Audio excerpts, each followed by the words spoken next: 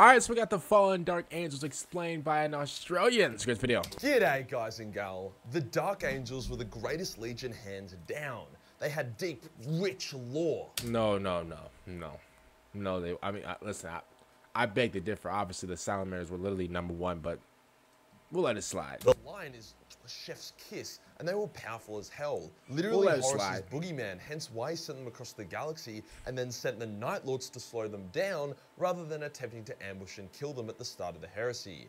However, for all their glory, victories, and power, they have a very dark secret. A secret that has actually made the modern day Dark Angels quite pathetic. That secret being the Fallen Angels, close to half of the Dark Angel Legion who betrayed the Lion. The interesting thing about the Fallen, as they are called, is that they are not necessarily traitor marines or, have to have interest in chaos. Most of them are actually still kind of loyal to the Emperor and the ideals of the Imperium. However, with some convoluted lore, a bit of chaotic influence, and the Lion having bad social skills, the Dark Angel Legion was fractured, putting the Lion into a 10,000 year coma and destroying the Dark Angel's homeworld of Caliban. So we did learn about that whole like uh coma situation and stuff like that. I think we did like a whole like hour long reaction. And I think like you know we obviously like you know I you know I said what I needed to say. I'm, I'm gonna be honest with you. The whole thing about like you know the lion and stuff like that, waking up and like you know him regaining like you know he like him kind of like regaining like his memory and you know him going through like all the mental battles and stuff like that, uh, while still you know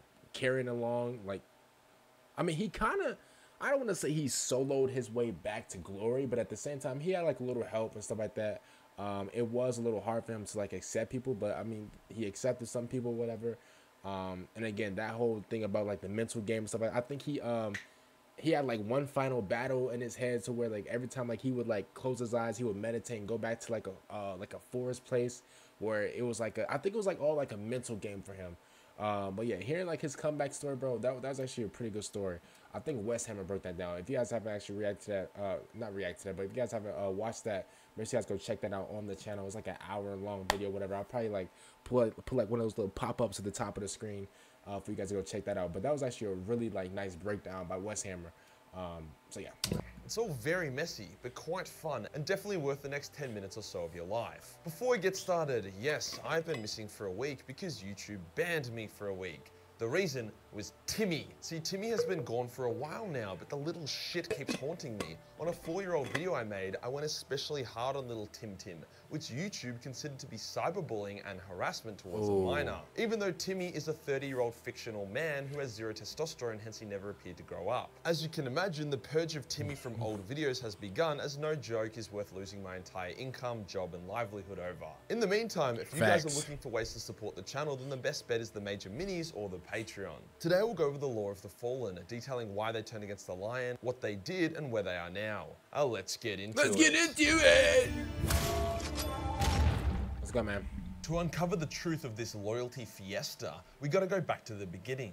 Back to Caliban, which is the only planet that could compete in deadliness level to Catachan. Caliban was a beautiful and lush world, verdant forests, clear skies, and demonic beasts that would massacre the populace. See, Caliban had been cum blasted by warp energy in the past, which mutated a decent amount of its fauna into semi-chaotic beasts. To combat literal genocide, the people of Caliban created the Knightly Orders, brave men and women who would ride out and hunt down the beasts, or at least protect villages. As they still maintained basic technology like firearms and low level power armor, they were able to hold back the beasts but never really triumph. The reason why I'm mentioning this is because Caliban low key being a chaos corrupted world is important and is directly tied to the creation of the Fallen. After millennia of beasts and the knights more or less being stalemated, Primarch Lion El'Jonson's capsule crash landed into the forests of Caliban, forever altering the planet's destiny.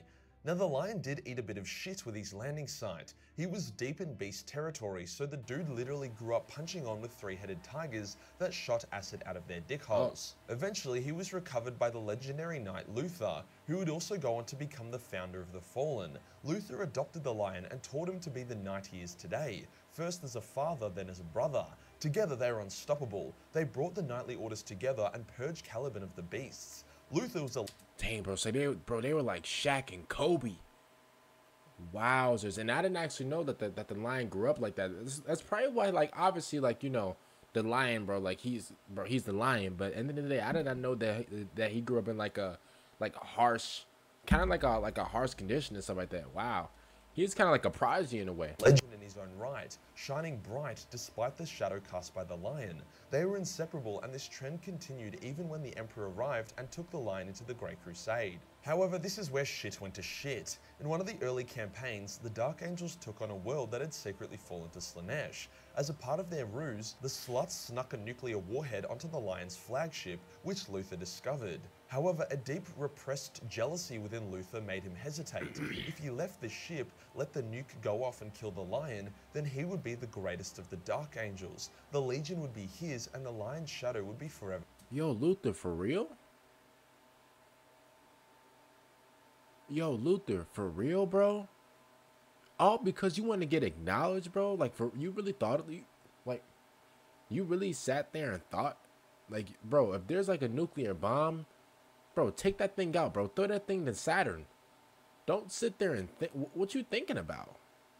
You you want to be the greatest of what? Why can't y'all just work as a team, bro? I told you. And I'll always say this, bro. The man's, bro, a man's greatest weakness, whether it's in real life, video games, whatever, a man's greatest weakness is the ego. Why can't you just put your ego aside to, and, and just work together, bro? Everybody can eat, everybody can win. Why? Yo, it always got to be that one character, bro. Like, what? Gone. See, Luther was a one in a billion guy. Without the lion, he still would have changed Caliban forever, likely achieving a great victory over the beasts and being forever known. But the lion is a one in a sextillion to the power of my asshole kind of guy, so Luther felt like he had been robbed of his chance of glory. Zahariel, a Dark Angel librarian, also discovered the nuke at a similar time to when Luther changed his mind and decided to help get rid of it. The two Dark Angels ejected the nuke, saving the Lion and the Dark Angel High Command. Oh, okay, Now nice. the Lion never knew exactly what happened. Neither Luther nor Zahariel told anyone about Luther's moment of spurginess, however the Lion is known for his instincts, so while he does suck at dealing with people or picking up on social cues, his gut usually leads him on the right path. You know, Nice. Except for that one time he got tricked into giving Perturabo super weapons that were then used to devastate loyalist forces, but yeah, nobody's perfect. It's fine, they so they- following his yeah. gut, the Lion banished Luther, Zahariel, and a number of other Astartes, both Terran and Calibanite, back to Caliban under the pretense of training more Dark Angels for the Legion. This deeply upset Luther, and as time sent them boys back to training. He said, bro, since you can't even, he said, since you can't even make a decision right, bro, I'm gonna send you and that bum back to training. I'm gonna send you and that bum back to training. Since you, since you don't want to, since you want to, since you don't want to be ob- be obvious and, and, and look at a nuke and be like, hmm, what should I do with this? Hmm, you know what? Should I? He says, since you want to hesitate. See, to be honest with you, bro, I don't hesitate. That's my actions. I just do it. Snap, crackle, and pop. That's what I do. I don't sit there and look at the situation and dissect it like we're in chemistry class. No. She said, Oh, since you want to make a decision, I'ma send you in that broke bum back to class. Go go pick up on some lessons. That's what he basically just said. It's not my words, that's his. Time went on, despite many, many new Dark Angels being created and sent off to join the Legion, Luther became ever more resentful as less and less communication came from the fleet. As he should, bro. You a rookie. How dare you sit there and hesitate? Are you dumb? If you see a nuke, bro, you better throw that thing like Tom Brady. Are you stupid? What are you talking about? Duh. Go back to class. Eventually, the name Luther stopped being spoken amongst the Dark Angels under the command of the Lion, and he was more or less forgotten. Facts. On Caliban, Luther Forget did what he was ordered to with extreme effectiveness. The Dark Angels became one of the largest legions, however, it wasn't sunshine and rainbows in paradise. Caliban's culture and forests were being torn down to make room for imperial settlements and mechanicus manufacturing. The very soul of the world was being cut down tree by tree. The lion wasn't a super sentimental guy, so he didn't really give a fuck. But for Luther, this was terrible. At a similar time, a rebellion from the disgruntled knightly orders of old, combined with a chaos demon at the heart of the world that was waking up, made shit real cooked. Luther fell into a deep depression as chaos began to infect his mind with doubt. With everything that was happening, Luther decided that the lion had abandoned them and didn't give a shit about them. On top of that, Caliban was getting turbo raped by the Imperium's industry, and it seemed as if the demon of Caliban was actually getting summoned by Terran born sorcerers. Luther convinced himself that if the Imperium ever came back to Caliban, they would see it as a lost cause and destroy the world. So when Horus begun the heresy, Luther quietly seceded Caliban from the Imperium with the support from from most of the Dark Angels with him. The Dark Angels who he had trained and raised. Dark Angels who had never even seen the Lion. The idea was that he would defend Caliban during the heresy and wait to see who would emerge as the victor. All I see, all, all I hear is a bunch of trickery. It's so crazy because in, in a lot of these situations, and I like to compare this to like real life sometimes. See, sometimes you may look at this like one thing from like this angle, but then at the same time, like, you know, another person from this angle, they might look at the same thing and they might see something different. You get what I'm saying? And this is why I feel like a lot of like I feel like a lot of stuff happen. I feel like a lot of that, like a lot of the uh the example that I just pointed out, I feel like that happens in Warhammer uh, in Warhammer a lot. I feel like in Warhammer, bro, I feel like one Primarch thinks that they that they got left, or one Marine thinks they got left, or what? One group of Marines think that they got left by their Primarch or whatever, and then you know they think this, and then, then they do this, but then the Primarch comes back, and then he's like, "Yo, what's up, everybody?" And then, then you know they reject him, or they try to kill him or whatever, and all this, bro. It's just a bunch of like misunderstanding bro, why why can't we be friends? Why can't we be friends? Why can't we be friends?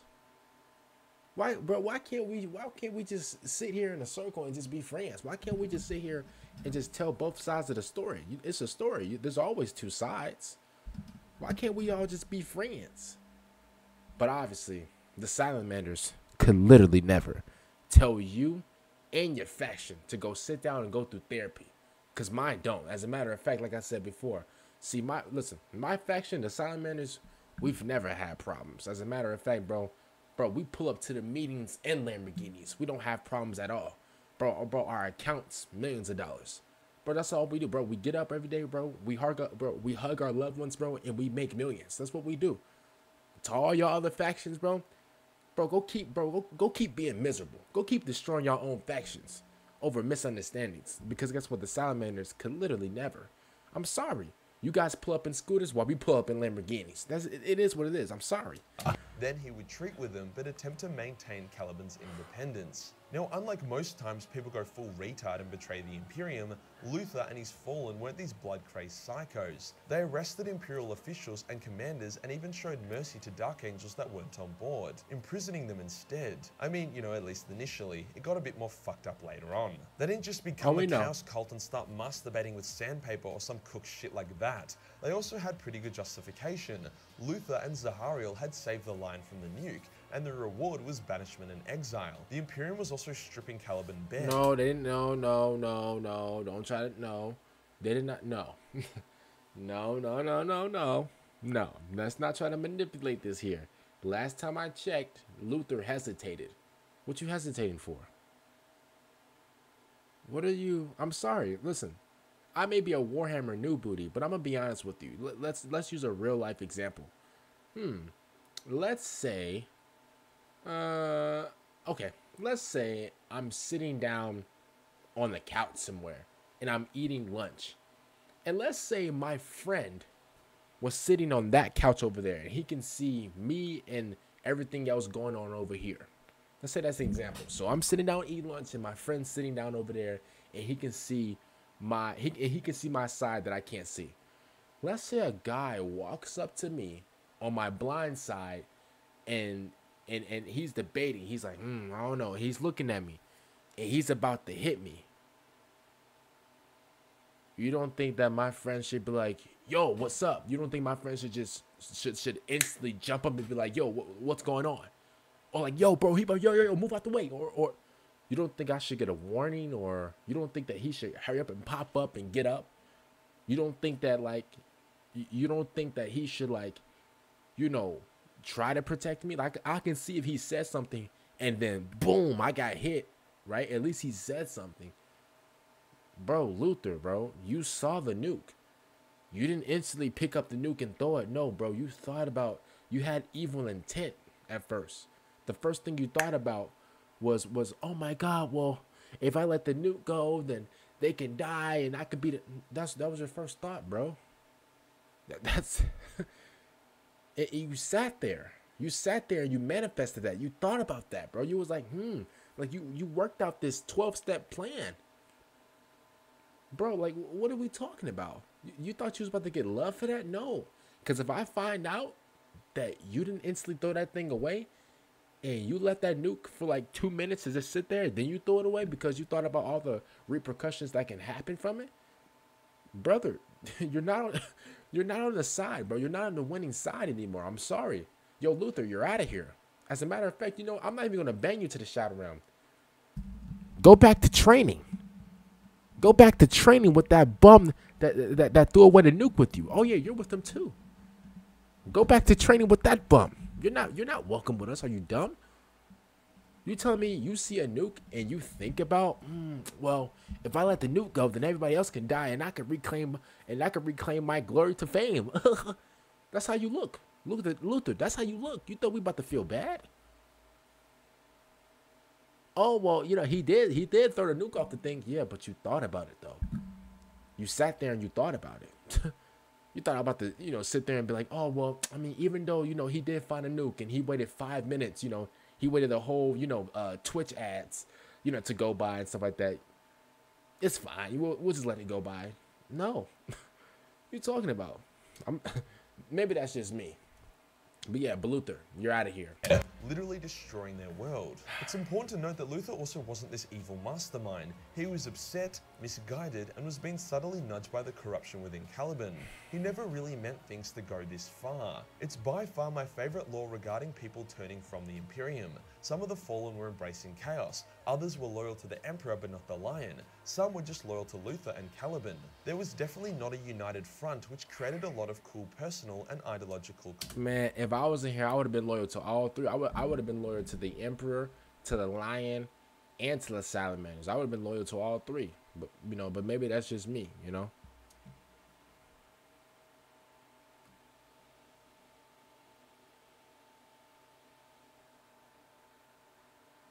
I take that back. I, I would have been loyal to the Salamanders and the Emperor.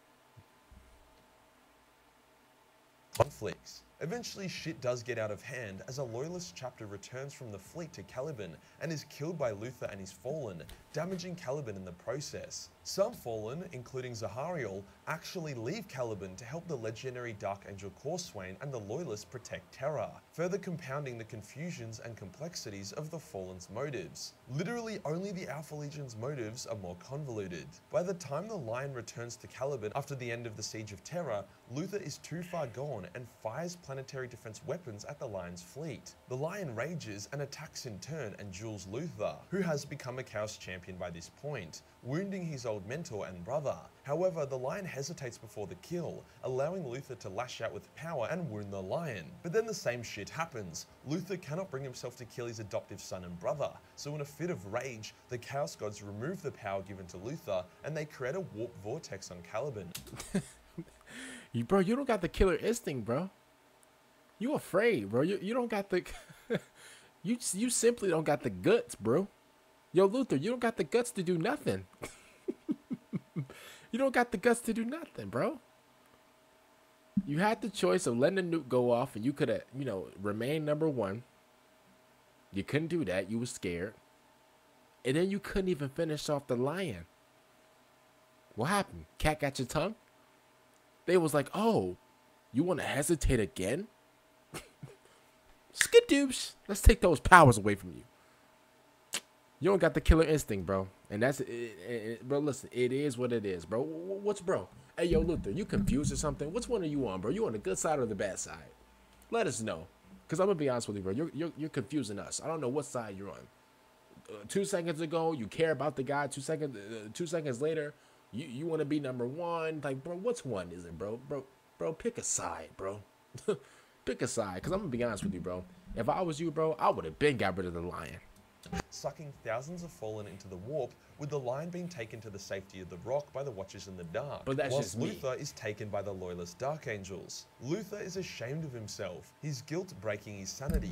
He sees the folly of what he did, wounding the lion, bringing about the destruction of Caliban and dealing with chaos. The joke went too far. He was then locked within the bowels of the rock. Meanwhile, the thousands of other fallen that had been sucked into the warp storm were periodically spat out at different times. Some were spat out decades later, others centuries or even millennium. Some are yet to appear 10,000 years later.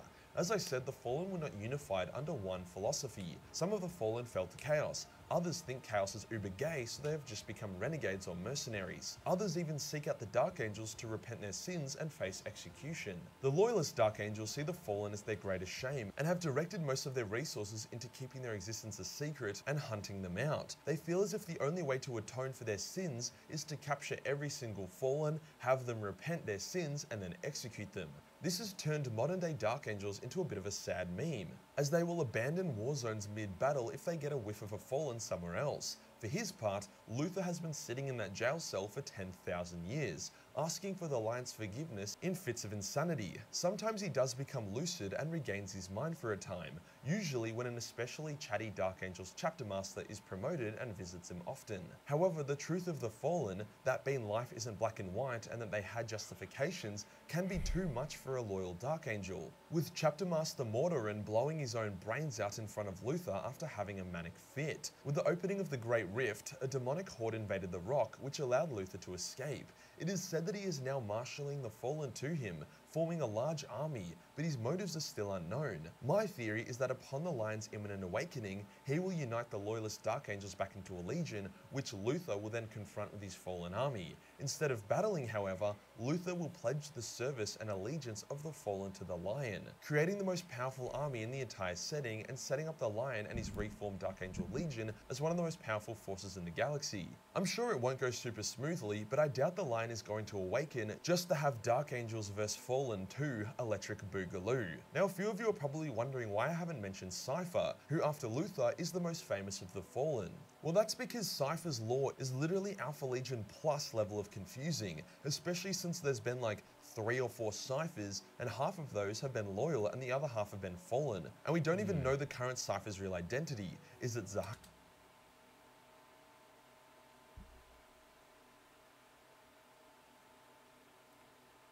Who is this? And why does he have him?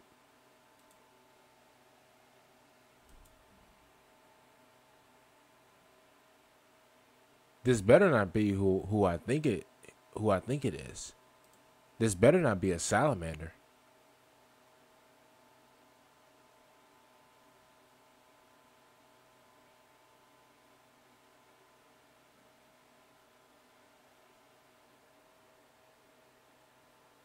Oh no, you got me twisted like T. Oh no no no no no. Ariel? Is it Corswain? Is it Omegon? So I refer you to my dedicated Cypher video where we do a bit more of a deep dive uh, into the ah. character and his relation to the Fallen. I just uh, hope to fucking god that GW doesn't go full retard mode and turn the Fallen into another Chaos faction, ruining all of their carefully crafted nuance and complex motives in the process. If you enjoyed the video and you want to support the channel, then Patreon... Shout out to, oh, okay, yeah. Let's just pause that thing right here. Shout out to Majorkill. Um, if that was a salamander, yeah, then we're not we're not checking out. Yeah, we're not checking out him. Yeah, I'm yo, if, yo, if this is a salamander, bro, I got beef with him. Let's be real. Other than that, man, comment down below, man. What do you guys think about this? Uh, no wonder people said that the fallen angels are a joke. A lot of you guys were not lying when you said that, man. The fallen angels are down horrendously bad. I'm gonna be honest with you. Um, I mean, I'm gonna be honest with you. I mean, we did hear obviously like you know the lion he's awoken he's uh, awakened now from like the coma or whatever. So uh, hopefully you know him and the, him and luke can like you know piece it up and stuff like that man. Maybe you guys like the video subscribe channel you guys are new and i will see you guys like next time out and peace out